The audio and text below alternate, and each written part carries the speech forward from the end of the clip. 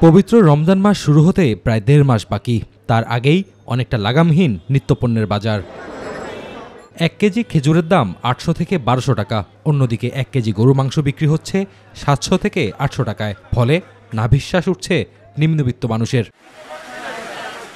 খুচরা বাজারে রমজানের আগেই ছোলা, চিনি, খেজুরের দাম মধ্যবিত্তের নাগালের বাইরে। সবাই ডলারের সংকট ডলারের সংকট। এলসি বন্ধ এটা বন্ধ কি করব বলে আমরা তো কিছু করি না আমরা যেরকম আনি সেরকম ব্যস্ত মরিয়ম খাজুরটা মনে করেন নশো ব্যস্ত আছি। এটা হাজার বারোশো টাকা আসতে পারে। আজুয়া আপনি এক হাজার বারোশো টাকা আসতে পারে।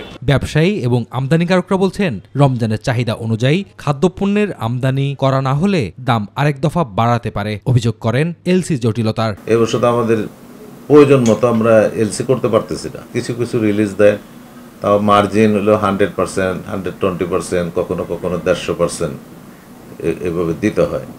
আমার কিন্তু বড় লিমিট আছে ব্যাংকে কিন্তু লিমিটে এখন কোনো কাজ হচ্ছে না। এখন যদি এবছর যদি রমজানে পণ্যের দাম বাইরে যায়, তাহলে তো ব্যবসায়ীদেরকে আপনি দোষ কীভাবে দিবেন? আমি তো আমার প্রয়োজন মতো, চাহিদা মতো তো আমি পণ্য আমদানি করতে পারতেছি না। রমজান ঘিরে নিত্যপণ্যের বাজার নিয়ন্ত্রণে রাখতে বেশ কিছু পদক্ষেপ নেবার আশ্বাস দিলেন ভোক্তা অধিকারের মহাপরিচালক।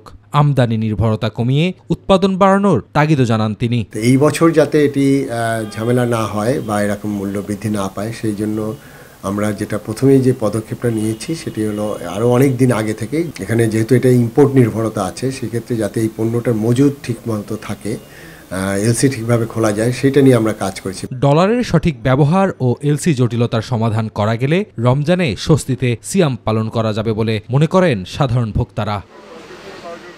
Mohibul Kader, my TV, Dhaka.